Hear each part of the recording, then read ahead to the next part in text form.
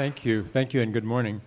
Um, it's kind of funny that we decided to volunteer for this panel called the Reading and Writing the Long Poem, and we only have 50 little minutes to talk about it. it seems like such a big subject. So we're going to try to be brief, and we're going to each talk a little bit, and then maybe ask each other some things, and then hopefully have some conversation with you, uh, if, if time permits. Uh, reading and writing a long poem, that's two really different things. I mean, it's one thing to read a long poem, but it's really something else to write, write one. Um, and when I started thinking about this topic, the long poem, well, how long is long?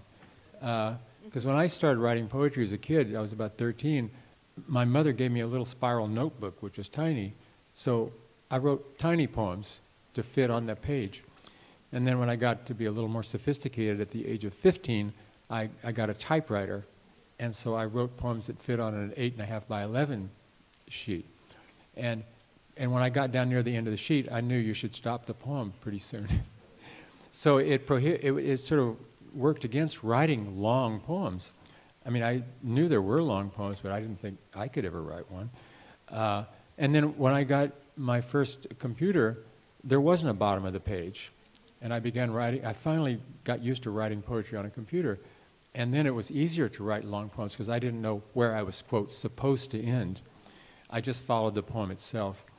But um, so, uh, one thing I'd like to talk about, I'm going to talk mainly about writing long poems, uh, not so much about reading them, but I love reading them if they're good.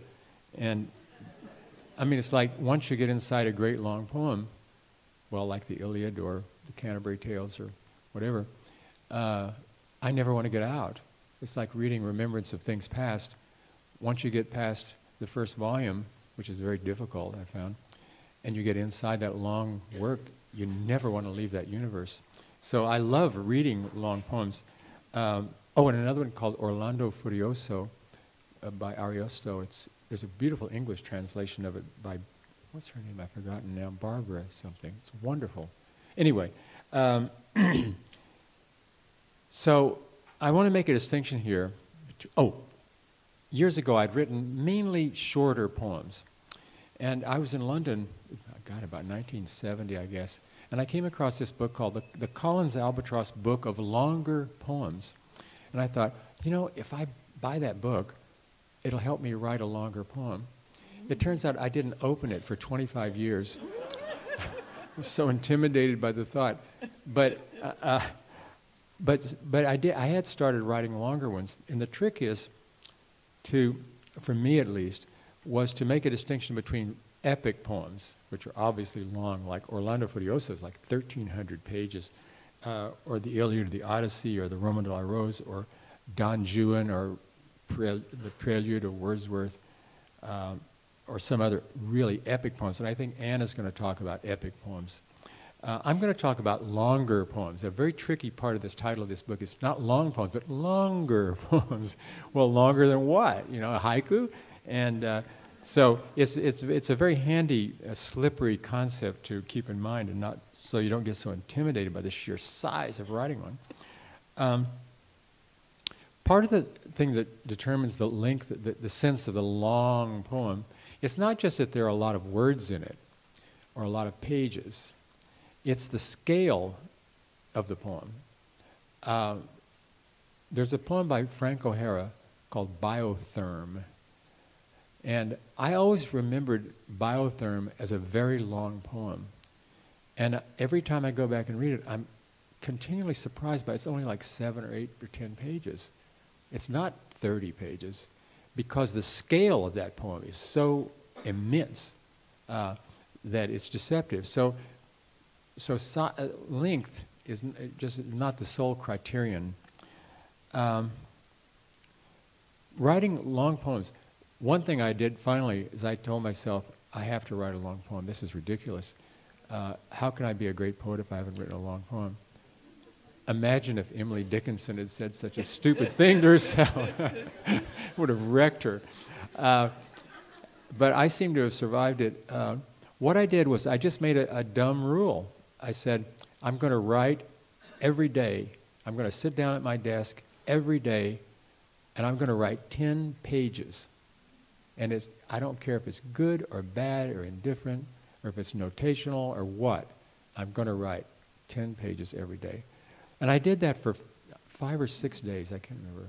And I, I, I, I came up with about 50 or 60 pages of material.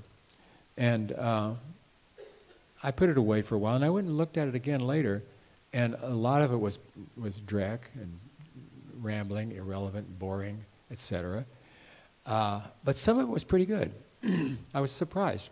So I did the obvious thing. I took out all the dreck, and I stuck the other pieces together. It's like what Juan Felipe was saying earlier. Is you, you, you tear up the pieces and you stick them together and move them around and make transitions.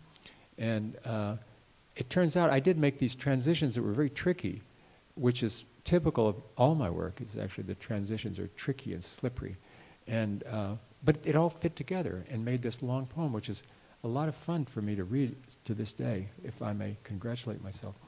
Uh, another thing I did writing a long poem, but this was not a strategy exactly, is I was looking at uh, seed catalogs for flowers actually they weren't mine. I was house sitting, and the, the person whose house it was had all these seed catalogs coming in. I started looking at them, and the, the flowers looked pretty good in the color pictures. But what really got me was the names of the flowers, the different fabulous names these flowers have been given by the people who developed a particular breed.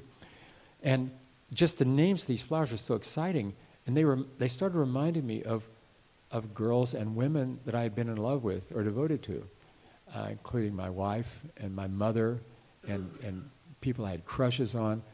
And I started writing this poem comparing this, this female, whoever she was, she varied during the poem, to these different flowers. And it went on and on. And it made, an, it made a long poem. And it was very easy because I just kept turning through the seed catalogs and finding another flower. And, and so it came out to be one, of the basic types of long poem, not epic, but long poem, is the catalog poem or the list poem.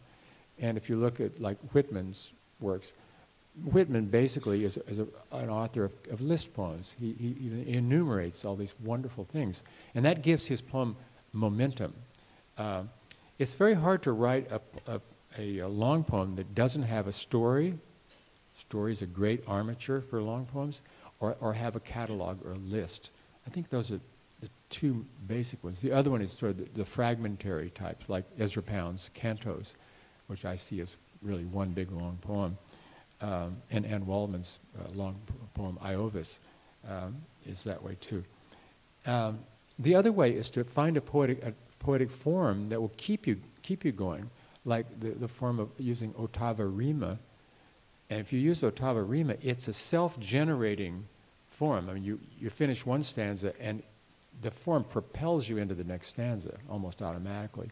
That's what Byron used for Don Juan and what uh, Kenneth Koch used for his two uh, uh, long poems, Ko, or A Season on Earth, and um, The Duplications. are both wonderful comic poems. And uh, uh, Ariosto used for Orlando Furioso. It, it's, it's, it's a poem that has just a rhyme, a rhyme scheme that just rolls and rolls and rolls. It's a little bit like the sestina, where you have the end words and you have to use them. It kind of pulls you forward. Um, so I would recommend if you want to try, I think, I'm sure a lot of you write poetry here. Uh, and if you haven't written a long poem, give it a shot. It's, it's kind of a, it's like, instead of going to Florida, it's like going to the moon, you know what I mean? it's, it's, I mean, Florida can be nice, I guess, but uh, going to the moon, hmm. Um, let's see if I have any other gibberish remarks to make. Oh, yeah, uh, you might want to also look at uh, Hart Crane's poem, long poem, The Bridge, and William Carlos Williams' long poem, Paterson. A Paterson that was a poem that was a book that was very thrilling to me when I was in high school. And I looked at it last year and I didn't like it. It was strange because um, I, I, admire him so much. Uh, Ashbery's uh, a long poem called The Skaters, which is a masterful long poem. And James Schuyler, a poem called Hymn to Life and of course the wasteland and uh, um, uh, and foreign foreign poets as well, uh, Aimé Césaire or Blaise Cendrars' Trans-Siberian Express or Apollinaire's Zone, which is only about six pages, but it seems to cover the universe. Um, And then there are a couple of contemporary poets aside from Anne uh, who write long poems and do it very well. One is named Clark Coolidge, who's, I think, a master of the long poem, and the other is a, a poet who, in fact, she was a chancellor until recently, named Lyn Hejinian, who's very good at writing long poems. Not everybody is, because the danger of a long poem is that you, it gets boring just because it's long.